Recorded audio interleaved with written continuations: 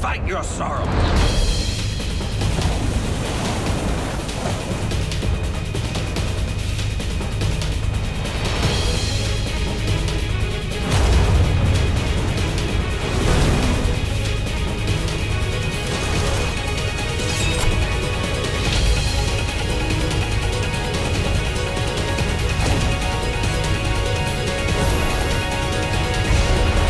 This is my story.